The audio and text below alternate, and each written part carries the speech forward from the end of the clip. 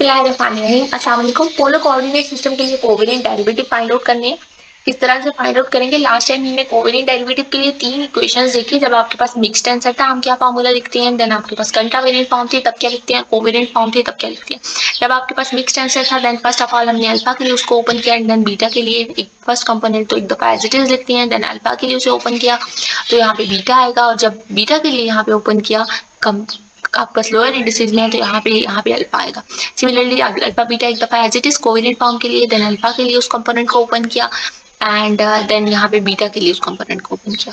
Similarly आप कंट्रावेरिएंट के लिए करेंगे तो अल्फ़ा के लिए ओपन करेंगे एंड देन यहाँ पे आप अल्फ़ा के लिए करेंगे तो यहाँ पे बीटा आएगा और जब आप यहाँ बीटा आता है और जब आप बीटा के लिए करेंगे यहाँ पे अल्फ़ा आएगा। ठीक है? ये करने के बाद अब आपके पास जो नेक्स्ट स्टेटमेंट है, वो हमने पोलर कोऑर्डिनेट सिस्टम को कंसीडर करके उसके कोवेरिएंट डेरिवेटिव्स फाइंड करने हैं कंट्रावेरिएंट वेक्टर के। और कंट्रावेरिएंट वेक्टर की फॉर्म गिवन है आपके पास ये अब आप फॉर्मूला को यूज़ करके easily contra covariant derivatives find out कर सकते हैं। क्या फॉर्मूला होता था आपके पास? आपके पास यहाँ पे एक देखें कंट्रा वेरिएंट वेक्टर का डेरिवेटिव लेना विद रिस्पेक्ट टू अल्फ़ा और आपके पास पोलर कोऑर्डिनेट सिस्टम के अंदर दो पोजीशन वेक्टर्स होते थे एक आर और एक थीटा और क्योंकि आपके पास टू क्रॉस टू की मैट्रिक्स है तो आप यहाँ पे अल्फ़ा बीटा की वैल्यू वन एंड टू ले सकते हैं। अल्फ़ा बीटा क्यों? क्योंकि जब आप, आप इसकी फॉर्म ओपन करेंगे तो आपके पास फॉर्म में एक दफ़ा function as it is and then gamma alpha alpha as it is उसके लिए टर्म बीटा बीटा इंट्रोड्यूस कराई और वी बीटा हो गया। अब आप अल्फ़ा वन पुट करें और बीटा टू पुट करें। जब हम अल्फ़ा वन पुट करेंगे V alpha alpha V one one and V two two similarly जब आपने यहाँ पे आपके पास ये फॉर्म तो बन गई V alpha is equal to V one one V two two अब आप इसके लिए सबसे पहले वी वन वन भी फाइंड आउट करेंगे वी टू टू भी फाइंड आउट करेंगे। क्या मतलब है इसका? कि जब आपने इस फॉर्म में अल्फ़ा की वैल्यू वन रखी, इस इक्वेशन के अंदर अल्फ़ा वन वन रखा and then alpha two two रखा। अब जब मैंने अल्फ़ा वन रखा तो V one one B one one gamma one one beta beta as it is आ गया। जो इसी तरह से जब मैंने वी अल्फ़ा टू रखा तो यहाँ टू टू और बीटा एज इट इज़ मैं एक दफ़ा ये वाली फॉर्म फाइंड आउट करूँगी एंड देन ये वाली फॉर्म फाइंड आउट करेंगे। सबसे पहले जब आपने ये वाली फॉर्म फाइंड आउट करनी है, इसके अंदर आपने क्रिस्टोफल सिंबल्स को यूज़ करना है। तो ऐसे क्वेश्चन के अंदर जब आपके पास क्वेश्चन ऐसा आ जाता है तो पोलर कोऑर्डिनेट सिस्टम के लिए सबसे पहले तो आपके पास दो ही क्रिस्टोफल सिंबल्स हैं। आपने वो याद रख लेने हैं एक क्रिस्टोफल सिंबल जो आपके पास पोलर कोऑर्डिनेट सिस्टम के लिए वो ये है gamma one two two one last time मैंने आपको फाइंड आउट करके बताया था, वहाँ से देख लिया वन ओवर आ रहा था और दूसरा है, टू टू वन के लिए माइनस आर तो आपके पास एमसीक्यूज में भी वो पूछ सकता है कि Christoffel symbol for polar coordinate system gamma two two one is minus R one over R वो किसी कुछ भी आपको एमसीक्यूज में ऑप्शन दे सकते हैं। आपने ये दो एक सिस्टम है, दो इस पोलो कोऑर्डिनेट सिस्टम के लिए गैमाज आते हैं तो आपने याद रख लेने सफेरिकल कोऑर्डिनेट सिस्टम के लिए आप फाइंड आउट करेंगे। ज़्यादातर जब आपको इस क्वेश्चन जो है वो इस तरह के आते हैं तो अब आपको क्रिस्टोफल सिंबल्स की वैल्यू साथ दे देते हैं। अब आपके पास वी वन वन आपने सबसे पहले यहाँ पे पुट करना है। वी वन वन आपके पास क्या आएगा? V one one is the first term of this equation R square cos theta and one लिखा हुआ है ना यहाँ पे तो मैंने पोलो कोऑर्डिनेट सिस्टम में बताया था, आपके पास जो आर टर्म होती है, वो वन को रिप्रेजेंट करती है, और थीटा टर्म होती है, वो टू का। मतलब आर होता है उस जब आपके पास वन टर्म साथ लिखी आ जाती है तो इसका मतलब होता है आपने with respect to R derivative लेना। तो यहाँ पे वन लिखा था तो आर डेरी आर के रिस्पेक्ट से डेरिवेटिव लेना है। गैमा जब आप बीटा वन पुट करेंगे, एक दफ़ा बीटा टू पुट करेंगे gamma one one V one and gamma one two one B two अब आप, आपके पास ये वाले क्रिस्टोबल सिंबल ज़ीरो है सेम के लिए, और ये वाला क्रिस्टोबल सिंबल भी ज़ीरो तो ये दोनों टर्म ज़ीरो हो जाएँगी। अब आपके पास ये टर्म बची। आर के कॉस थीटा का derivative with respect to R लेना है। आपके पास इसका डेरिवेटिव टू आर का थीटा हो जाएगा तो आपके पास एक आंसर आ चुका है। अब आप दूसरी चीज़ फाइंड आउट करेंगे, ये वाली। इसी, इसके अंदर भी एक दफ़ा बीटा वन पुट करेंगे, एक दफ़ा बीटा टू जब आप बीटा वन पुट करेंगे तो यहाँ भी यहाँ भी वन और यहाँ भी वन सिमिलरली जब एक बीटा टू पुट करेंगे, यहाँ टू यहाँ टू अब आपके पास गैमा टू वन टू का आंसर वन ओवर आर है। वन ओवर आर पुट किया। वी टू टू की जो टर्म है, वो आपके पास ये माइनस साइन थीटा है, वो वैल्यू पुट की। और टू लिखा था यहाँ पे तो थीटा के रिस्पेक्ट से डेरिवेटिव लेंगे। एंड देन आपके पास गैमा टू टू ज़ीरो होता है, वो वैल्यू पुट कर ली। अब साइन थीटा का डेरिवेटिव थीटा के रिस्पेक्ट से कॉस थीटा हो गया। वन ओवर आर इस गैमा टू वन टू की वैल्यू वी वन आर से कॉस थीटा था। अब आप आर यहाँ से कैंसिल कर सकते हैं, और कॉस थीटा हो गया। अब आप क्या करें? वैल्यूज़ आपके पास दोनों आ गई हैं। अब आप यहाँ पे V one one V alpha alpha को जब हमने ओपन किया अल्फ़ा को वन वैल्यू दी एंड देन अल्फ़ा को टू वैल्यू दी, अब आपके पास वी वन वन भी आ गया वी टू टू भी आ गया, दोनों वैल्यूज़ वी वन वन क्या आया? आपके पास two R cos theta and V two two क्या आया आपके पास minus cos theta plus R cos theta दोनों वैल्यूज़ को पुट कर दिया वहाँ पे। अब आप R cos theta R cos theta आपके पास थ्री आर कॉस थीटा हो जाएगा। आर कॉस थीटा कॉमन ले सकते हैं? थ्री आर माइनस वन हो गया और आपके पास वी अल्फ़ा अल्फ़ा का ये आंसर आ चुका है। इसके बाद आपके पास नेक्स्ट क्वेश्चन के अंदर सफेरिकल कोऑर्डिनेट सिस्टम आपको पता है इसके अंदर तीन पोजीशन वेक्टर होते हैं आर थीटा पाई और अब आपने सफेरिकल कोऑर्डिनेट सिस्टम के रिसबल सिंबल ऑफ़ सेकंड काइंड के लिए दे गए थे तो उसमें हमने X one X two X three terms use की थी। वहाँ पे आपके पास वो जो एक्स वन का square G two two matrix पड़ी थी, वो एक्स वन का एक्स की पावर में नहीं था। एक्स वन वो एक टर्म थी एंड देन एक्स टू और एक्स थ्री टर्म्स थी, वो कुछ स्केयर टर्म्स या क्यूब्स टर्म्स नहीं, उसकी पावर में पड़ी थी। ठीक है? And then Christoffel symbol spherical coordinate system के लिए उन्होंने आपको प्रोवाइड कर दिए यहाँ पे। अगर नहीं करता तो अगर आप फाइंड आउट करने पड़ेंगे। सारे क्रिस्टोफल सैंपल्स ये वाले gamma two one two gamma two one two three one three ये सारे फाइंड आउट करने पड़ेंगे। बेसिकली अगर आप बस शॉर्ट स्टेटमेंट हो तो वो आपको जो है वो इजीली सॉल्व हो जाएँगे। आपको कोई कोई गैमास दे भी देगा।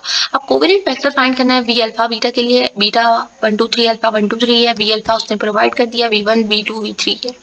अब आपने V alpha covariant vector of this component इसके लिए फाइंड आउट करना है। सबसे पहले तो हम सॉल्व कर ले सॉल्व स्टार्ट करते हैं इसको करना। अब वी अल्फ़ा बीटा है, आपके पास ये वाली फॉर्म है कंट्रावेरियंट फॉर्म है।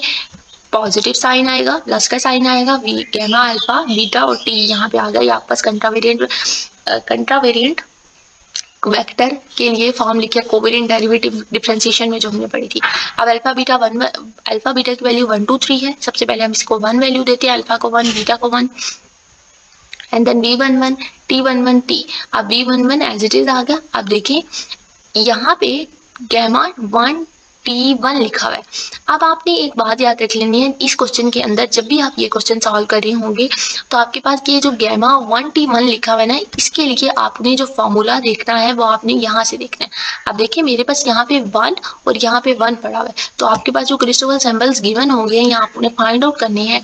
तो देखिए, आपके पास किस टर्म के अंदर इस तरह से वन पड़ा हुआ है और ये वाला टी की जगह कोई और वैल्यू है। तो देखिए वन आपके पास कोई क्या ऐसा सैंपल है यहाँ पे जहाँ पे, यहाँ पे भी वन है, यहाँ पे भी वन पड़ा हुआ है? तो यहाँ पे कोई भी सैंपल यहाँ पे आई थिंक सो नहीं गिवन है तो इसकी वैल्यू क्या हो गई है? यहाँ पे ज़ीरो हो गया। तो आप इसकी रिप्लेसमेंट में ज़ीरो पुट कर देंगे। V one one you know यहाँ पे आपको वी वन वन क्या गिवन है? आर गिवन है। और आर का derivative with respect to one लेना है मतलब कि आर ही के रिस्पेक्ट से डेरिवेटिव लेना है तो इसका आंसर जो है वो वन आ जाएगा। सिमिलरली जब आप अब आपके पास जब आपने B one two find out करना है तो इसी तरह से हम अल्फ़ा वन ही रहने देंगे। बीटा को टू पुट करेंगे। यहाँ पे alpha one beta two alpha one beta two put कर लिया। अब देखिए, आपके पास गेमा वन टू फॉर्म आई है। तो आप अपने, आपके पास जो क्रिस्टोकल सिंबल्स गिवन है, आप उस फॉर्म में देख लें कि आपके पास कौन से गेमा में इस तरह से वन टू आ रहा है। अपर में वन एंड लोअर इंडिसेस में टू है और साथ में कोई टर्म पड़ी हो। तो आप देखें यहाँ पे आपके पास ये वाली टर्म जो है, वो देखें ये वन पड़ा है यहाँ पे और यहाँ पे टू पड़ा है। और यहाँ पे टी वाली वैल्यू एज इट इज़ मतलब टी आपके पास यहाँ पे क्या है? क्वेश्चन के अंदर टू है। तो गैमा वन टू टू का आंसर आपने यहाँ से देखना है। टी आपने ये वैल्यू खुद से देखनी है कि आपके पास किस तरह से ये सिंबल वन टू की कंडीशन को फुलफिल कर रहे हैं। आपके पास कौन सा गैमा जो है, इस तरह से वन और टू आ रहा है। आपके पास इसका आंसर जो है वो गैमा ये आपके पास गैमा वन टू टू होगा। टी खुद से नहीं लेना। टी आपने उधर से देखना है। इसकी वैल्यू माइनस आर हो गया हम वैल्यू पुट करेंगे। एंड वी वन टू आया है। वी वन का derivative with respect to two लेना है। तो वी वन आपके पास क्या है? वी वन आपके पास आर है और आर का derivative with respect to theta zero zero हो जाएगा and gamma one two two R minus R put करेंगे बी टू की वैल्यू आपके पास आर स्केर कॉस थीटा है, वो यहाँ से पुट कर लेंगे। आप वैल्यूज़ को इकट्ठा कर लें minus R cube cos theta हो गया। सिमिलरली अल्फ़ा वन ही रहने दें बीटा थ्री पुट करें। आप देखें, कौन सा वाला क्रिस्टोफल सिंबल आपके पास B gamma one three value दे रहा है इस तरह से। मतलब आपके पास अपर में वन पड़ा हो और नीचे आपके पास थ्री पड़ा हो तो यहाँ पे एक ये वाला सैंपल है वन है और नीचे थ्री वैल्यू दे रहा है। आपके पास इसकी आपके पास टी है ना यहाँ पे तो टी हम यहाँ से खुद से लेंगे। गेमा वन थ्री थ्री होगा वो, इसकी वैल्यू माइनस आर्स के साइन थीटा है। यहाँ पे इसकी वैल्यू पुट कर लेंगे। Gamma minus R square sine theta ये वैल्यू पुट कर लिया गैमा वी वन का derivative with respect to three three लेना मतलब फाइव के रिस्पेक्ट से आर का डेरिवेटिव ज़ीरो होगा। ये वाला वी थ्री का आंसर आपके पास वी थ्री जो है वो यहाँ से देखें साइन फाइव है, वो वैल्यू पुट कर लीजिए। एंड आपके पास इसका आंसर जो है वो minus R sine square theta sine five आ गया। अब हमने अल्फ़ा वन पुट किया था और उसको एक्सपेंड करते गए थे बीटा को। अब हम अल्फ़ा टू पुट करेंगे और इसी तरह से बीटा अल्फ़ा फिक्स रहेगा बीटा को एक्सपेंड करते जाएँगे। जब हमने अल्फ़ा टू पुट किया बीटा वन पुट किया, अब देखिए कौन सा वाला क्रिस्टोफल सिंबल आपके पास टू वन वैल्यू दे रहा है। आपके पास अपर में टू पड़ा हो, नीचे वन पड़ा हो तो ये वाला है, इसकी वैल्यू वन अवर आर है। सिमिलरली आप यहाँ पे one over R value put करेंगे। वी टू का derivative with respect to one लेना है। वी टू आपके पास यहाँ से साइन आर के कॉस थीटा है? उसका derivative with respect to R लेना है। तो मतलब आपके पास इसका derivative two R cos theta हो जाएगा कॉस थीटा तो कॉन्स्टेंट रहेगा एंड वी टू की value R square cos theta values को इकट्ठा कर लें। Three R cos theta answer आ गया। अब आपने अल्फ़ा टू ही रहने देना बीटा को टू पुट करना है, फिर आपने अल्फ़ा टू ही रहने देना बीटा को थ्री पुट करना है, उसी तरह से आप क्रिस्टोफल सिंबल्स देख लें। पी टू का derivative with respect to two लेना है मतलब थीटा के रिस्पेक्ट से आप डेरिवेटिव लेना है, और इसके कांस्टेंट लेगा कॉस थीटा का डेरिवेटिव माइनस साइन थीटा हो जाएगा आर स्क्र साइन थीटा हो गया। Minus sine as it is आप देखिए कौन सा वाला Christoffel symbol two two value दे रहा है तो आपके पास ये वाला क्रिस्टोफल सिंबल है। एंड देन यहाँ पे ये वाला क्रिस्टोफल सिंबल है टू टू जिसकी वैल्यू जो है वो वन ओवर आर है। यहाँ पे हमने वैल्यू पुट की वी वन की वैल्यू आर है आपके पास आपके पास आंसर आ गया। सिमिलरली बीटा थ्री पुट करें, कौन सा वाला क्रिस्टोफल सिंबल आप बस इस तरह से टू थ्री वैल्यू दे रहे हैं तो वो वैल्यू देख लें, कौन सा वाला सिंबल है, ये वाला है minus sine theta cos theta answer है इसका। वैल्यूज़ पुट करेंगे वी टू का derivative with respect to theta लेना है। आपके पास जो वी टू है वो r square cos theta v two का derivative with respect to three three मतलब पाई के रिस्पेक्ट से। तो यहाँ पे तो कोई टर्म ऐसी नहीं है। आर स्केयर कॉस थीटा में जिसमें हमारे पास पाई आ रहा हो तो इसलिए इसका डेरिवेटिव यहाँ पे क्या हो जाएगा? ज़ीरो हो जाएगा।